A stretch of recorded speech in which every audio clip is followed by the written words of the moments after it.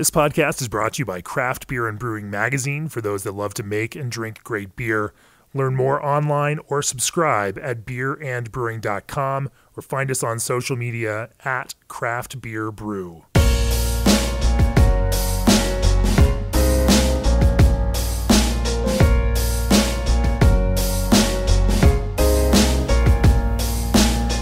Hey everybody, it's John Holland. As we head into Labor Day, I find myself down the Jersey Shore, which is exactly where you want to be. And outside today, it's a hundred degrees with humidity to match, and I was greeted as I got out of the car with the smell of cooking wort. And it is even on a day like this a wonderful, wonderful aroma to be greeted with, especially when you know that it's coming from a brewery like Kane, which is where I find myself this afternoon with Mike Kane, the founder, the brewer.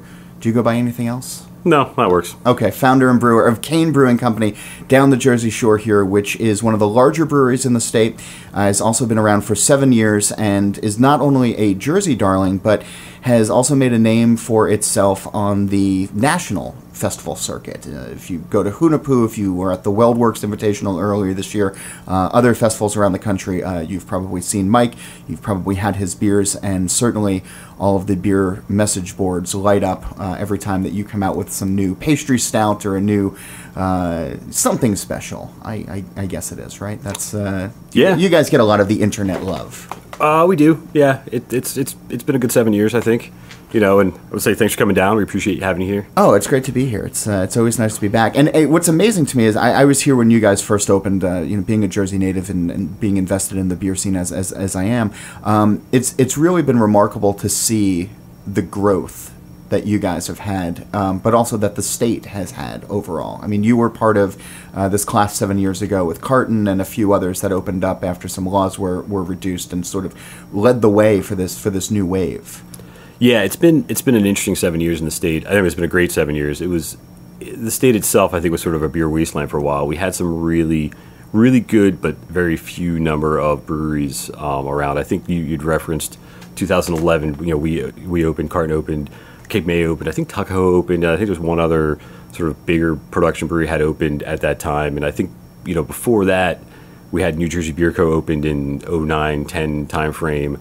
But before that, yeah. it was had really been a while since anything new had opened in New Jersey. So it's sort of an interesting sort of, you know, rebirth at that period of, of production of, of brewing back into the state of New Jersey, and since then it's just taken off like it has across the country. And what we had back then was mostly brew pubs as well. I mean, we obviously did, there's yeah. the big AB plant uh, across from Newark Airport. If anybody's ever driven the Turnpike or, or right. flown through, like you, you've seen that. But mostly brew pubs. When you were getting ready to open, you were a home brewer first. Yes. What was your vision? What What were the beers that excited you? And did you have that translate to what Kane was in the beginning? Yeah, absolutely. I mean, I think what I love to, I started homebrewing in college. Um, so at this point, that was a while ago. Um, that was, you know, 98, 99. Um, hate to even think about it. But, uh, you know, I, I, I got my, you know, I've mentioned this before, but I got my start uh, homebrewing in college. I went to school up in Connecticut and I spent a fair amount of time up in Vermont, the sort of New England area. Um, in the winters, you know, mostly snowboarding, skiing, going up in the winter. And, and a lot of, at that point, some breweries like Long Trail and Magic Hat, were still really small. And, I visited them and, and talked to a lot of brewers there, and they had gotten their start home brewing, and I, I thought that was sort of fascinating. So I went back and, and bought myself a kit and uh, bought myself, you know, a, a, complete joy of home brewing, the Papazian book that everyone seems to read, and yeah. started with that, and that was sort of my my lead into home brewing, you know, '99 time frame, and um, as I continued to homebrew, I sort of fell in love with two styles, IPA, IPAs and, and, Belgian style beers, and I think that was what I mostly brewed as a homebrewer was. And when you are saying IPAs, you're talking like American IPAs, yes. right? It's not like the old British tradition. Well, it's interesting because I, you know, the first batch of beer I ever brewed was a um, like a German wheat beer. It was a kit I bought, super old, you know, old yeast, dry yeast, stale, stale, dry malt extract, and uh, it was awful like everybody else. And then yeah. you sort of progressed into the, you know, back then it was a lot of the East East Coast breweries seem to come from maybe an English or Belgian style descent. Uh, so I brewed some English style IPAs in the beginning. I remember my first all grain batch was a all Maris Otter, all EKG, like British IPA. Um, and then from that, you know, got into the Sierra Nevada thing with the, you know, Cascade, Chinook, Centennial, West Coast style IPAs and started brewing those. And that was mostly what I had, had got, had fallen in love with, um, was the, sort of West Coast style IPAs.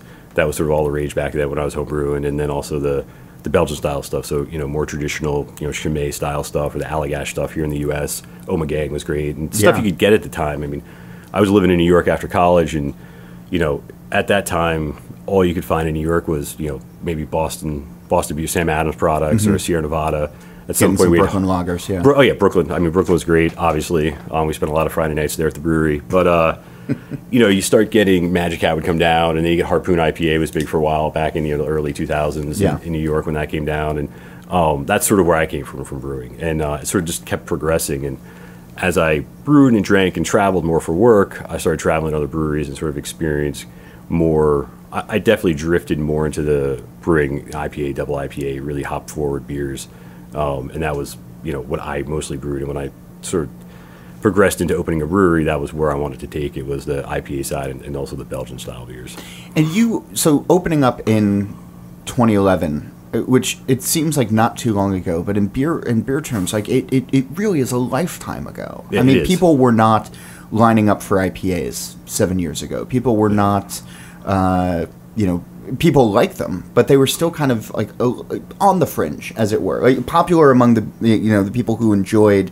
Uh, beer and bitterness, but New England styles hadn't even come into the lexicon yet. Uh, No. You know, some of the, the, the beers that you're making now um, hadn't even entered into the sort of sort of general consciousness uh, of the whole thing. Yeah, no, not at all. I, mean, I think I, we feel like you know, seven years has gone fast for us. We feel like we're just getting started, but we understand how much the market's changed in the last seven years. For even for us in New Jersey, nationally, how much it's changed, and it's it really is changing at an increasing rate. It almost seems like every year seems to get more compacted, and and, and trends change, and, and the whole scene itself seems to move more quickly than it used to. Um, we definitely feel like sometimes in New Jersey, people look at us like we're sort of the old old regime or whatever it is at this point. You know, And which is which for, is for which the middle funny for us. generation, yeah, Right, it certainly can be that way. absolutely.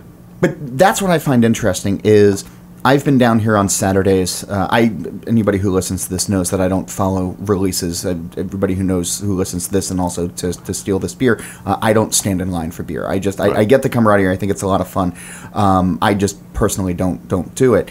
Um, but I've been down here on Saturdays when you've had release days, and I've been greeted by the the the. the ID checker in the in the main lobby saying, "Sorry, we're already out of whatever it is that day." It's like I, I don't care. I'm just going Right. to drink head high anyway. Yeah, I'm beer. just going to come and drink beer.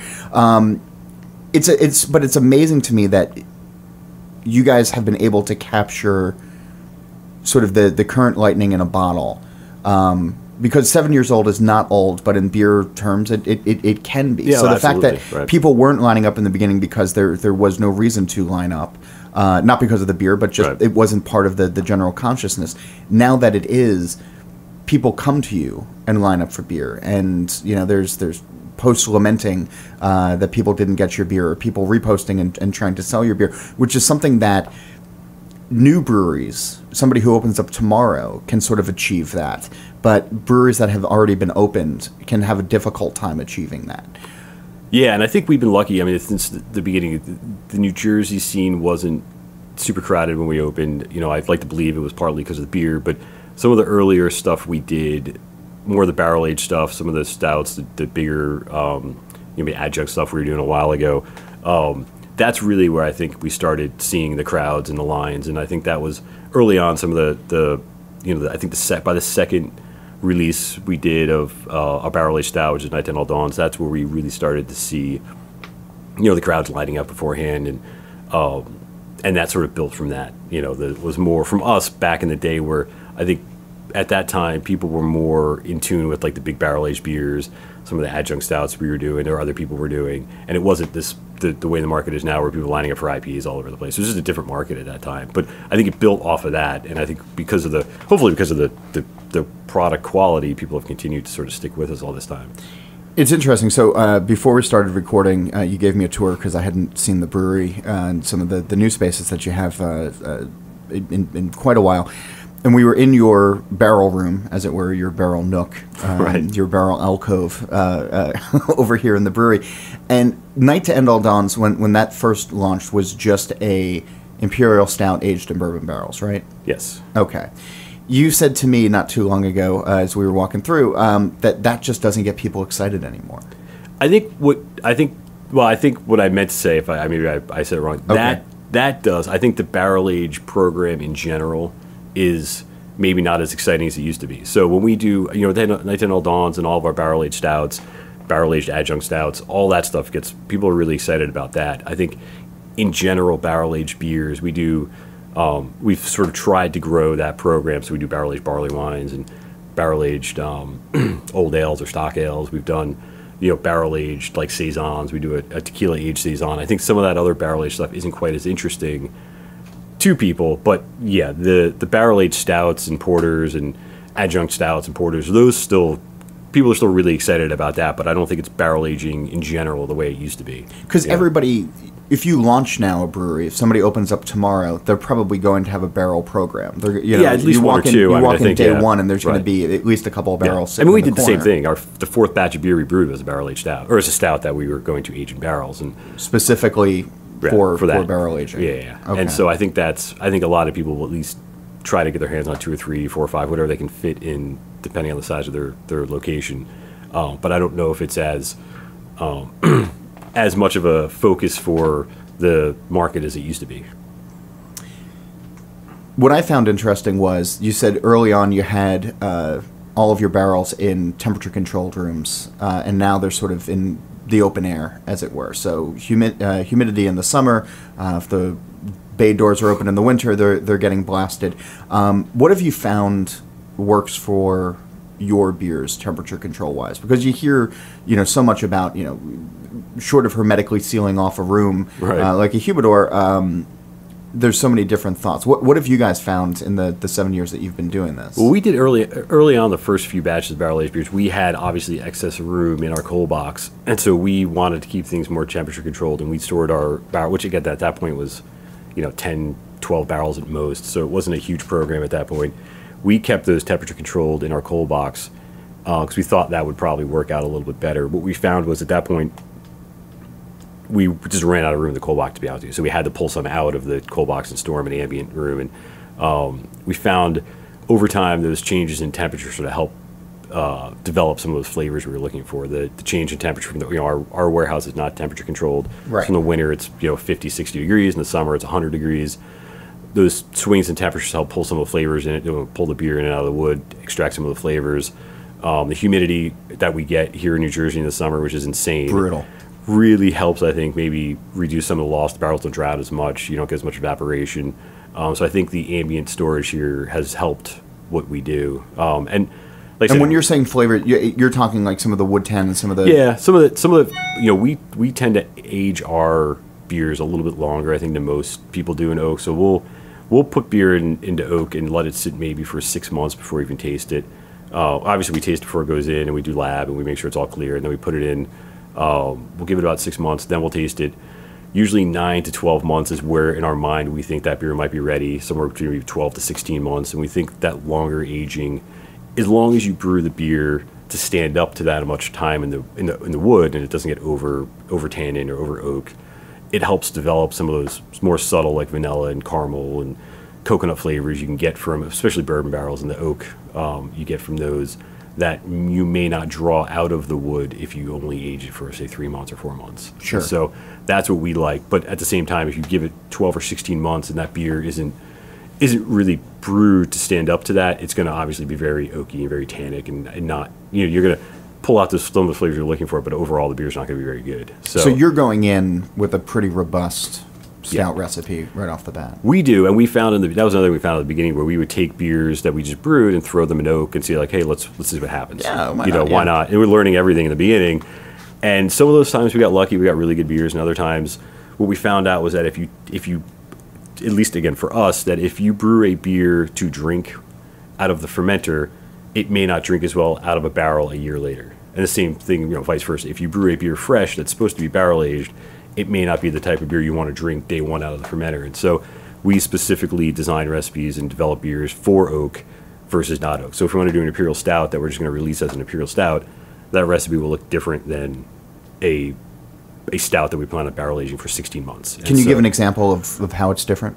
a lot of times it just has to do with body and sweetness and like the malts you use to develop that. Um, we'll try to make it uh, a lot a lot bigger starting gravity, a lot finish a lot higher. Maybe add some more low level caramel malts or um, just to sort of build up the body and not have it drink so dry because we've pulled we pulled beers out of oak that you know finish around 10 Plato, which is really sweet. Yeah. And you drink it and it and people are like, man, this is a really dry beer. And it's just the perception of dryness because all of the oak and the tannins and the other flavors in there Yeah. really dry it out. And then you carbonate it on top of that, and that adds another little, sort of layer of um, of, of dryness and, and drinkability, which is good.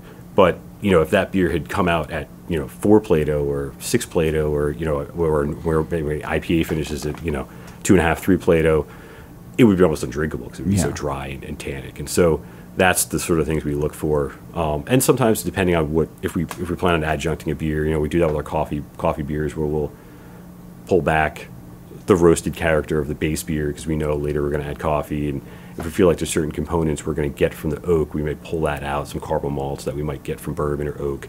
We'll take that out of the base recipe so that it's not over overpowering at the end. And so we're just trying to take into account whatever barrel or adjunct or whatever we're going to do post fermentation into the recipe. What I find interesting is there there because so many breweries have a quote unquote barrel program these days, and because they're eager to get people interested in their beer. It, so much of it is a turn and burn. It is, hey, we're going to make this and we're going to put it out three months later. When you're talking uh, a year, sixteen months uh, longer, that there, there's a discipline that comes with that. I mean, obviously, you know what the reward will be, or you hope you know what the reward will be, but there, but there's a real discipline that comes with that that I don't know if we see in this sort of immediate world these days, where you know there's certain beers that are being made where if you don't drink them within two weeks, they're going to blow up in your backyard. Right. um, i- i- am I missing that? Is that is that Well, I does think, you discipline know- play a role in this, or is it? I, I think there's, it is interesting. You know, I, I think there, I thought you were going down a different road too. There, I mean, there are, from a barrel perspective, there are quick barrel beers that I've had that taste great too, and I think that's just perspe- brewer's perspective and what they want to do and what they're trying to accomplish with that beer. That you can put a beer in oak for three months, four months, and it depends on style. I mean, we've done, you know, we've got a. Um, a saison that we've done we did years ago and we finally got some reliable reliable source of good tequila barrels recently that we did uh, we brewed it again too. It was called Cortillo, and it was a, a saison in, in um, tequila barrels. These tequila barrels are wine barrels. The previous ones were first bourbon, then tequila, and they were uh, in I was to say rougher shape by the time we got them. And these because wine barrels are a little more well built and a little more robust, it held up better. And um, but that type of beer, you know, we're going to do that four to six months at most because we don't, you know, the saison can't really stand up to that. So there are some quick barrel beers that you know hold up that are reasonable. It's just you know, like I said, mostly it's up to the brewer's perspective as what they're trying to do. Um, I think what you're talking about more is the you know the need for freshness, and I think like I said, when we were opening some of the bigger beers, you know, you go to bottle shares then, and it was all 750s of barrel aged beers and high alcohol beers, and it was a very different market or, or scene than it is now, where it's a lot of you know all super fresh IPAs, double IPAs, um, fruited IPAs, fruited kettle sours, and those are the type of things that yeah you need to drink fast. And the only thing I would st- no, not the only, but one of the real benefits to that is people are at least drinking their beer now. There was a time where it was people are buying beers and sitting on them, and none of the stuff was getting drinking. And we'd have people come back and be like, "Oh, hey, I've got this bottle. It's three years old. Should I drink it?" And we're like, "Yes, drink it." Like Yeah. you know, it's three years You should- you old. should have had it three years ago, So, yeah. um, and I get, you know, there was, I think, you know, and you try to go way back into thinking, but there was, you know, the early craft, you know, craft beer revolution. Some of the early brewers, I think, when they were doing some of the higher alcohol beers, before the learning was there, some of these beers maybe did need to sit on. But I felt like there was a point at which time where brewers in this country had learned how to make really good high alcohol beers that didn't need to be aged that well and would age and develop flavors, and you could sit on them for a while. But there was an extreme where people were taking it too far where it was like three years later, and it's like, well, it's, you know, drink the beer. Yeah. So at least now with some of the, you know, some of the more in demand beers that are, are, are IPAs, at least people are, are sharing them and drinking them fresh, which is good. The downside of that is people who don't understand that maybe sitting on some of these beers a little too long, and then, you know, it's you've got a six month old IPA, and it's like, well, that you know, that probably should have been drank by now. And that's sort of the interesting thing. So this is still very much an IPA house, right? Yes. I mean, well, and that's yeah, and that's what I was going to say Yeah. before was the barrel aging program is a very small percent of what- from volume perspective, very small percent of what we do. It's something we love to do, and where I said, regardless of where the market moves, we're going to continue to do them because it's something we love to do and love to drink. But yeah, it's a very small percent of what we do. Yeah. But unless you were selling head high in the amounts that you are right now, uh, you wouldn't have the. Right. The It ability helps. to do yeah, these things. absolutely. Yeah. Yes. That and that's why we can sit on a beer for a year and a half and not worry about it too much because that's not our core business. Yeah. Where do you see everything with IPA right now? Like, where do you see the IPA realm, as it were? I mean, everybody talks about haze, um, but you started with some of these classic styles. You now do hazy styles. Uh, you know, you do West Coast style. You, you sort of make everything, uh, Right. a- as it were. You're not just known for um, one kind. And so you sort of have this interesting perspective. And you also get to travel around to, to festivals. I, I've seen you uh, across the country at a lot of these things. And you're tasting a lot of the new flavors. You're seeing a lot of what, what comes out. Like, what's your take on where IPA is right now? Um, you know, for me, it breaks comes down to you know it goes back to quality, which is I you know I love all IPAs, but they have to be well made. So I think it's you know I love a really well made West Coast IPA, or I love a really well made hazy or New England style IPA, whatever you want to call it. Um, I'll more than happy to drink a old Sierra Nevada Pale Ale anytime. Maybe that's Yeah. a well made beer. I'm, I'm more than happy to drink that. And I think for me, it comes down to quality is more the should be more the focus than the style or is it West Coast? Is it East Coast? Is it hazy? Is it clear? Is it what does it taste like? Do you enjoy drinking it? And not everyone enjoys drinking the same style of beer all the time. So I think it's you know it's nice to have a variety of people brewing different things. I mean, there's breweries out there who are only or are more well known for drinking or making clearer, more West Coast style IPAs, and those beers are fantastic. You know, and I know there's a lot of uh, hazy, you know, New England style IPAs that are awesome to drink too. And so I think it's it's nice if we have six thousand breweries in this country that people are doing different things. I don't think we need six thousand breweries making the same beer.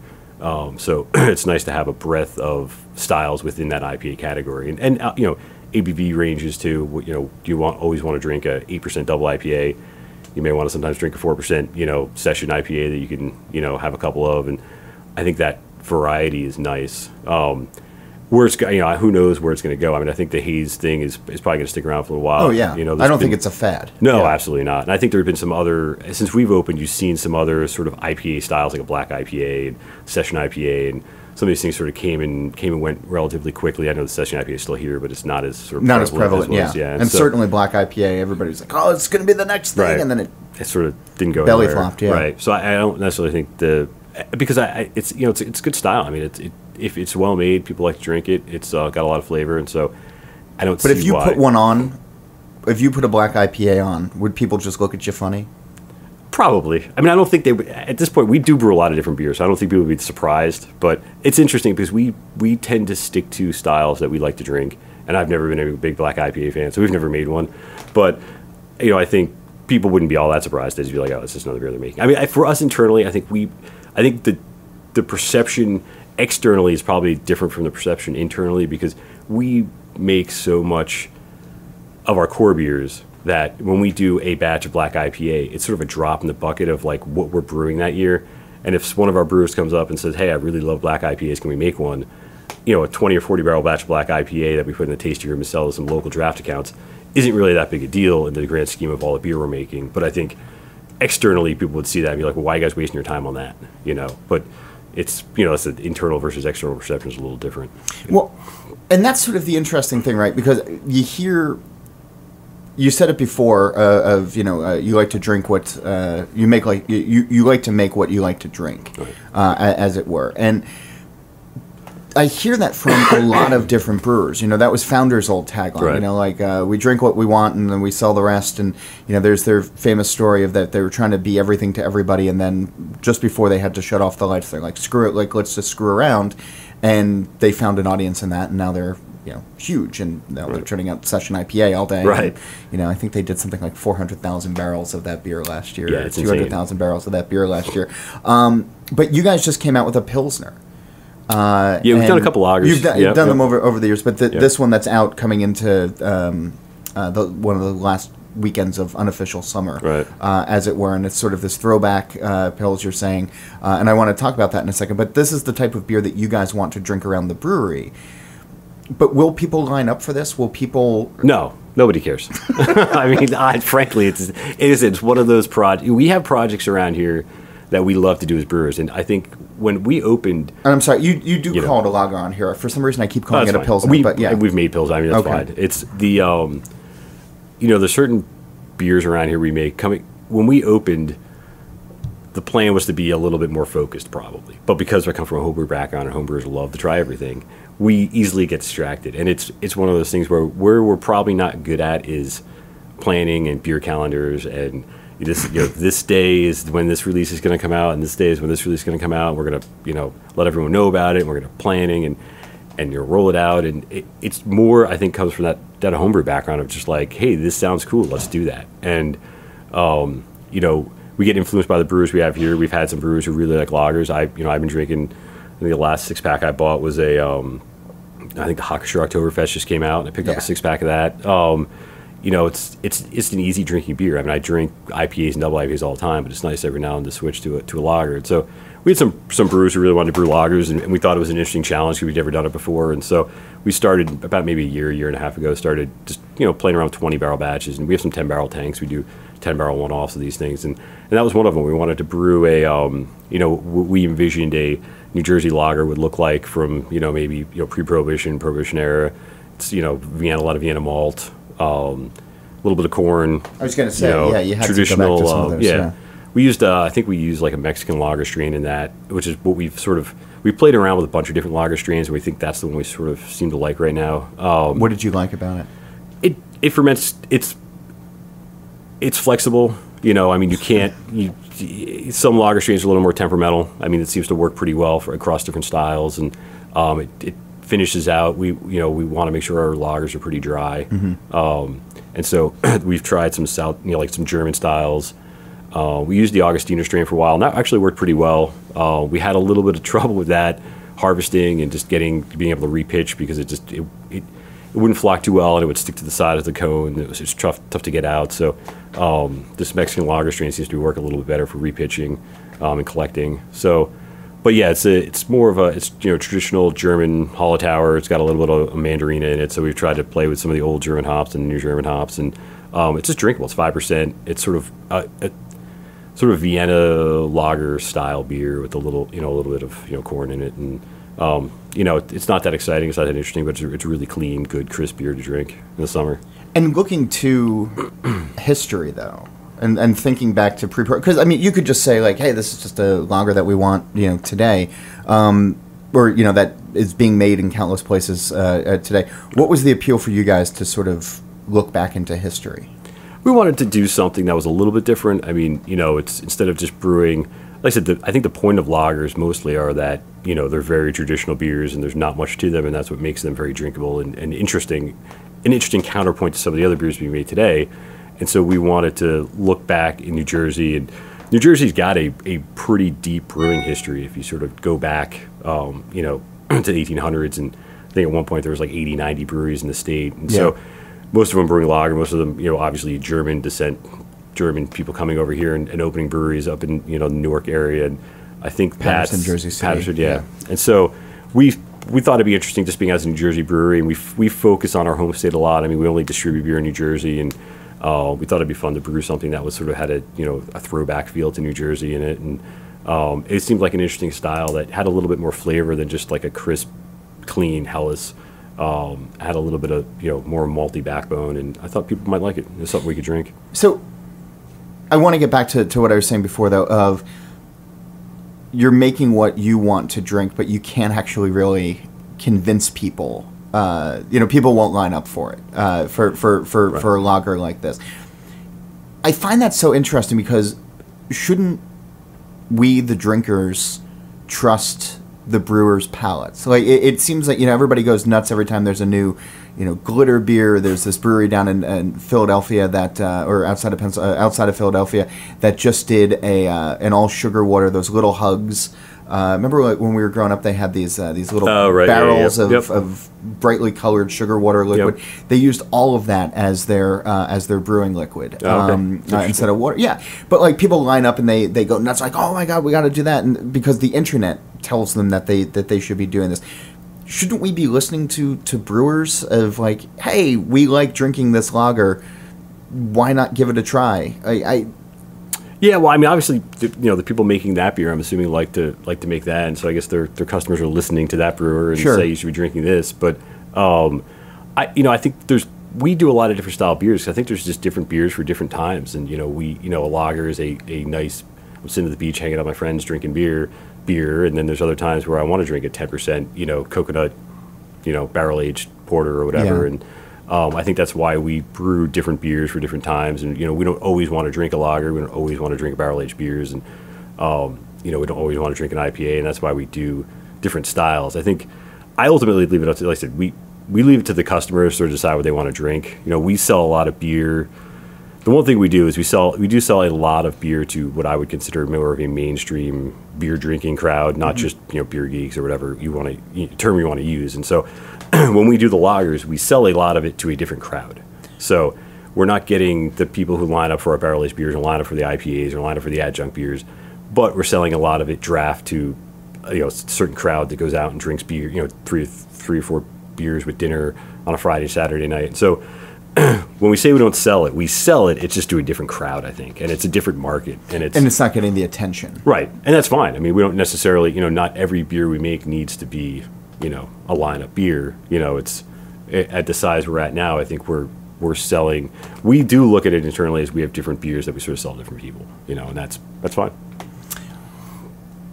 You've been at a lot of the. I find it interesting that you guys are Jersey only, uh, Yes. but you've been at a lot of the big national festivals. Uh, you're at Hunahpu, uh, run by Cigar City every year. I saw you out in the, the wilds of Greeley, Colorado, at the Yes. WeldWerks That was a good Invitational earlier. Yeah. It was. It was a. It's a. It's a cool little town uh, east of Fort Collins, as it were, north of Denver.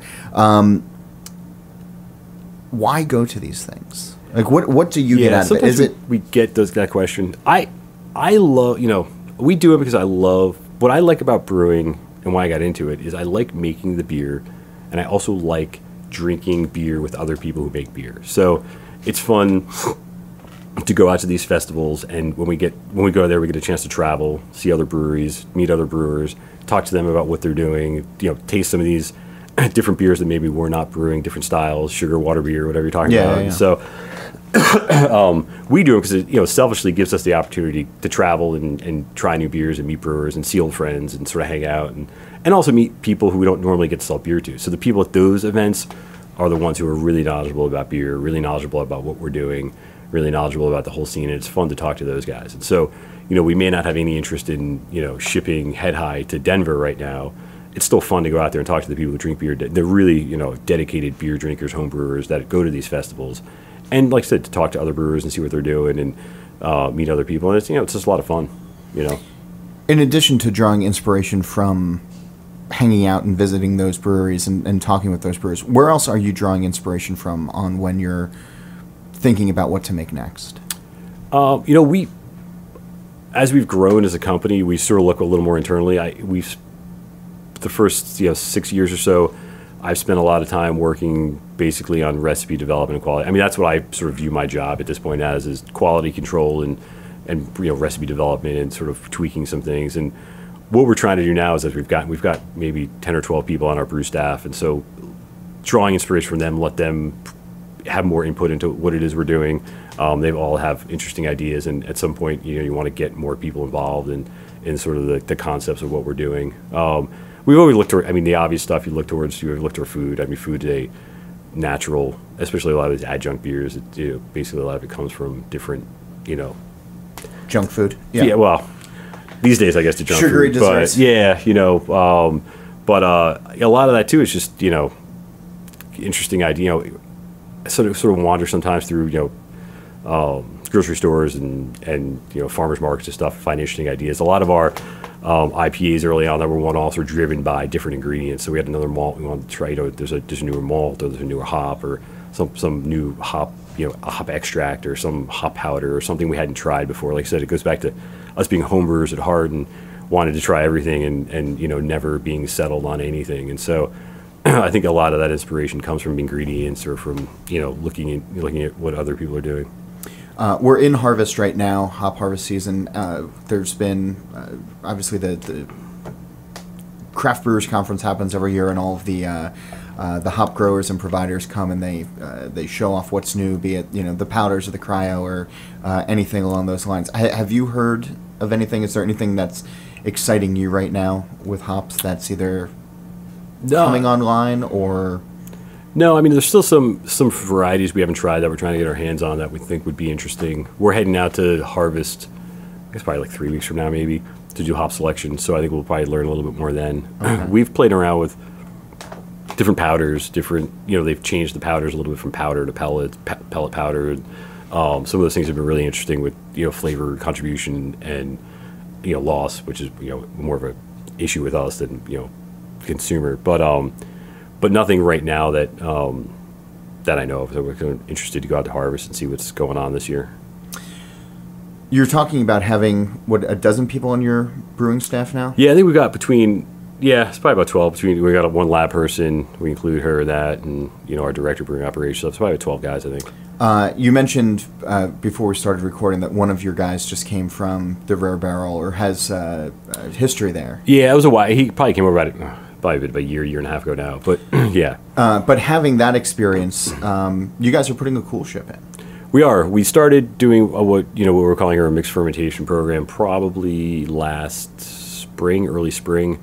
Um, was something we wanted to do. He came over. Um, he's from New Jersey. He sort of came over as a hire. He wanted to come back to the state, and um, and you know as he was here working and we started talking more, it was something that we thought he could sort of you know lead a little bit, you know, and take control of that. So we started last spring um, with a, like I said, with the mixed fermentation program. We've basically what we do is we brew the wort. We got a separate warehouse that we were using at that point for dry storage, and we sort of moved that into a new warehouse and um, use that facility for the fermentation and aging. And so we still brew the wort here on on the sort of original brewery side in the 20 barrel system.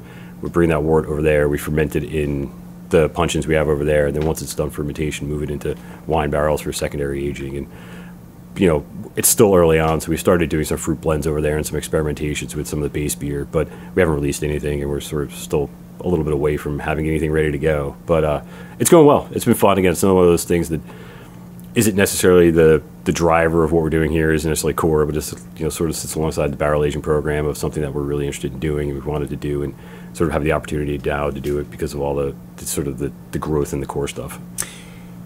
We're also getting into harvest season for a lot of fruits that are that are out there uh, these days. Jersey being the garden state, there's no shortage of actual great No. produce that, that's coming our way. Uh, for everybody who's out of state, who's snickering right now, Right. uh, go to hell. Um, but it, you've been fooling around with a couple of different fruits um, at, at this point. Like, what what do, what do you look for um, when doing some of these mixed fermentation? Uh, yeah, some of these beers, uh, but giving them fruit additions. Like, what what appeals to you with those Right. ingredients? Well, I think we've done, you know, when you talk about before inspiration, we've done a lot of, lo- we've done a lot of local ingredient pairing, be it with you know local coffee. We do an apple cider beer with a local cider beer. We've been doing it forever. Um, we've done peach beers on the clean, you know, sort of quote unquote see clean side um, with New Jersey grown peaches years ago, and so we do try to look.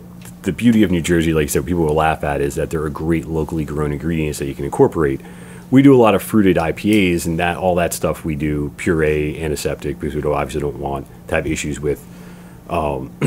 and like getting from out of state the purees, Right, like yeah. that, yeah. And so, but on this this mixed fermentation side, yeah, we've done all um, locally grown fruit. So we've got it. We got it about thirteen hundred pounds of peaches a few, uh, probably a few weeks ago at this point, um, from a farm in South Jersey.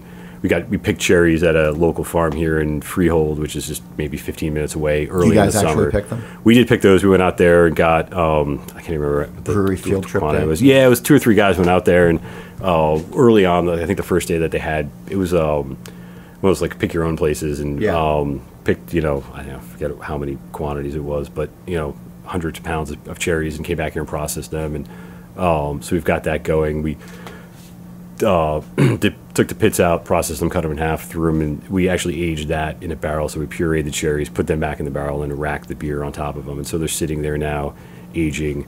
Uh, we've got blackberries going, um, elderberries. I think what else we did. We've got we're getting ready for uh, we've got got a lot of our puncheons that we fermented from Alba up in North Jersey, the winery, and so we're planning to get some um, grape juice from them from their fall harvest this fall. Uh, so that'll probably start in a couple weeks, maybe next month or so. So we've been do, what we've been doing is taking some of the base beer we brewed early on last spring and sort of dividing it up in one or two barrels of each of these different fruits. And so our first year, we want to you know sort of experiment with how they how they ferment out, what kind of flavor contribution there is. You know, we did one, I think we have one barrel of blueberries as well. So we've got maybe you know eight to ten oak barrels of different varieties of fruit on this base beer that we made, and so we'll sort of see how those come out and decide what we're going to do with them um, later in the year. I don't know if you were just teasing when you were saying that you don't actually uh, earlier that that you don't plan out a schedule that you're not as uh, coordinated as you should be with these things because when when you're brewing uh, with fruit and you have to go out and, and, and pick like there there is some planning that comes into There is, that. and I think yeah, it's more on the on the release side where we're Okay. not necessarily great with um, getting these things out. But yeah, there is there is a certain extent with the fruit beer. It really was. Uh, in the beginning of the summer, we sat down and said, "Okay, what are we going to look for this summer? What, fruits are we going to go after, and what is the peak season for them?" And and so we did have to plan that out a little bit. But it is very, it's sort of shotgun like.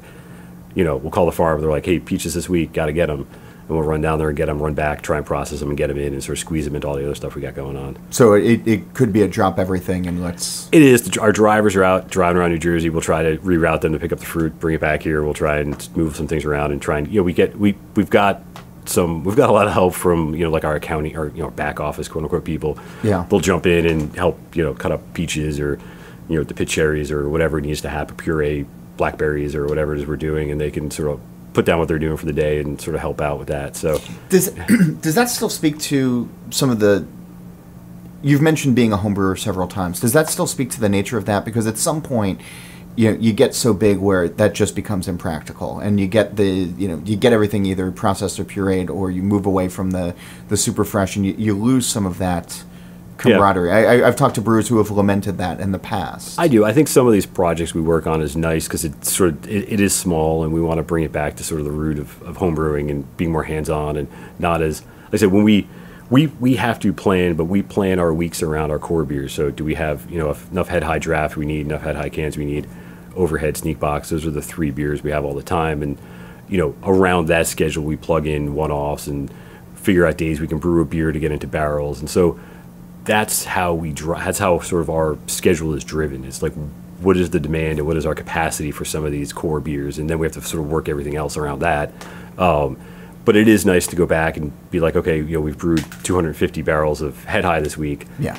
on autopilot, basically. Let's do something interesting and let's go back to sort of what we were doing. And that's, I think, the mixed fermentation project and some of this barrel aged stuff we do is sort of sort of goes back to that, you know.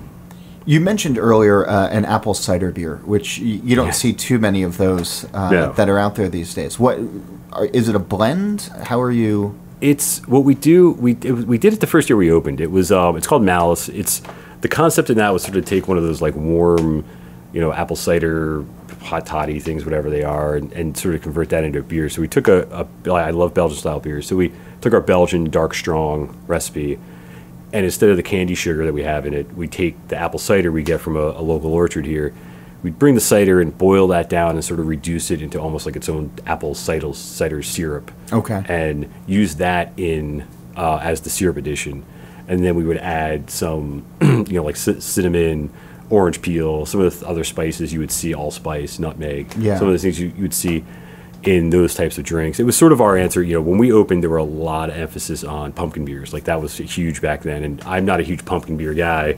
We wanted to do something for the fall. We wanted to incorporate sort of a local ingredient, something that had a little bit of twist on it. So that was the thing that we sort of came up with that um, worked well. We did it in 750s. We carbonated it. We bottle conditioned it uh, early years and sort of carbonated a little bit higher and sort of more of a traditional Belgian thing to it. And Yeah. so we do that in the fall. I think it's it's an interesting concept. It is a great beer, but I, as a whole, Belgian style beers aren't all that you know interesting. I think to the mass, but it's again it's one of those things we love to do, and it's like I said, it's working with a local um, local farm here, which is great. You know. As we start to wrap up, a question I've been asking uh, folks is, what's your hope for beer? Yeah, you know, I hope the you know the market is obviously we talked about at the beginning has grown a lot in New Jersey and throughout the country. I think we were you know there were probably 12 to 1500 breweries in the country when we opened 6,000 7,000 breweries now. Yeah.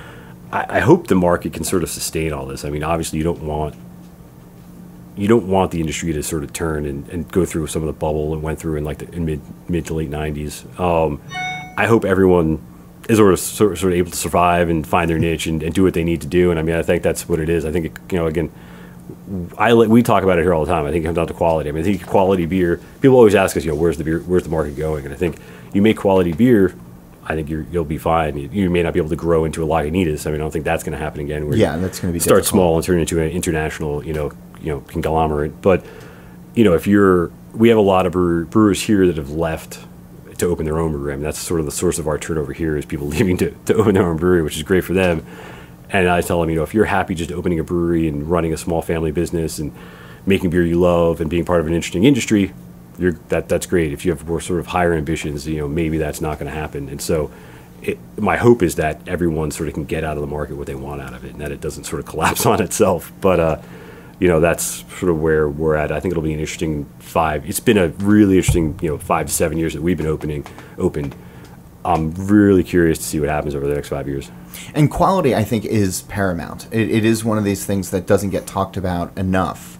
Um, you know, because we are in an age where uh, there are people putting out IPAs where cans explode, or Right. you know things spoil, or you know infections get in, and and, and God knows what else is happening. Um, what do you see your responsibility as a brewery owner uh, and a brewer to talk to consumers about quality?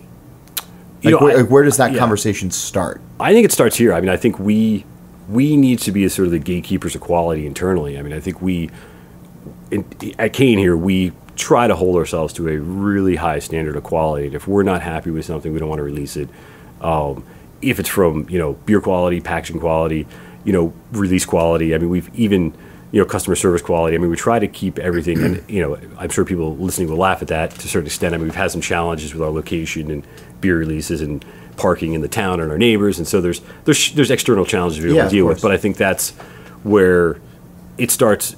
You know, I think each each brewer owner sort of has to decide what's quality for that. You know, for me, I I, I don't necessarily think I want to release a, a can of beer that might explode, but obviously other people have different opinions on that, and so you know, it's that's where I just need to have to again, it's it's the perspective of the of the of the brewery owner and the people working in the brewery to decide what they believe quality to be, and what how important is it? You know, is it is it important enough to say, well, maybe this batch of beer didn't turn out great, but we really can't financially afford to dump it, so we'll just try and get it out. You know, that's where you have to decide. Well, no, we got to decide this this isn't good, and so long term, you have a, you know our our our quality measure is more of a long term perspective.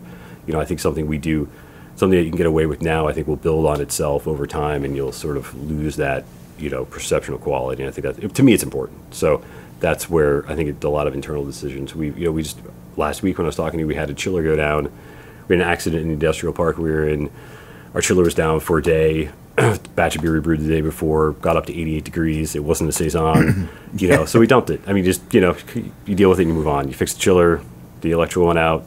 It's an accident that happens, and and you move on. And so I think that's where you know you could probably we probably could have kept that batch of beer and blended it slowly into other batches, and and nobody would have noticed. But I think at the end of the day, it's just you know you dump the beer, it's bad, you move on, and, and I think that's if you don't do those types of things internally, I think even people see that and say, well, okay, well, I guess quality isn't that important. So I can I can I can shortcut on this tank I'm cleaning. I can shortcut on these on these DO measurements on the canning line. I can, you know, no one here really cares about quality, so it's not that important. Yeah, so I it's a think follow the leader. Yeah. and I think that's sort of how you have to look at quality. It's just like what does every brewery determine is important from a quality perspective. Mike Kane, founder and brewer at Kane Brewing down here on the Jersey Shore, where everything is all right, as uh, Springsteen once said. Uh, if people want to find you, you're on all of the various uh, social medias and Uh, yeah, as a company, we are. Um, Mike Kane Yeah, you is don't do any of but uh, yeah. I mean, I, and I, you know, the way I look at it is, I'm at the brewery Thursday night, Friday night, Saturdays where we're open, and I love people come. I love people coming to talk to them, and you know, people have, you know, it's not convenient for people to come down here, but you know, that's where I like to talk to people, and I'm not really too too out there on social media. I mean, I, obviously for Kane Brewing Company, I, Yeah. I post all this stuff, but you know, um, I answer all the emails. So if you do send an email into us, we'll get back to you. And that's sort of where we're at. If you want to find us, send us an email through the website. Come into the tasting room, have a beer. But uh, yeah, otherwise, check check Instagram and Facebook. and it's Kane with a K, by the way. Uh, if you have questions uh, for me, guests you'd like to hear, um, topics you'd like here uh, to be discussed on an upcoming episode, you can reach me at John Holl. It's J O H N H O L L at beerandbrewing.com, or you can join the conversation on Twitter at John underscore Holl or Instagram at Mr. John Holl, because I'm fancy like that. Uh, also, head over to beerandbrewing.com, the magazine's website, where you can read all about homebrewing, what's happening in the beer world today, and get insight from professional brewers. While there, you can also subscribe to the magazine. Please subscribe to the magazine. Support quality independent journalism. Uh, we need you guys now more than ever. Mike, thanks again. Oh, thanks for having me. It's a pleasure. And thanks to all of you for listening. We'll be back next week with a brand new episode. Cheers. This podcast is brought to you by Craft Beer and Brewing Magazine for those that love to make and drink great beer.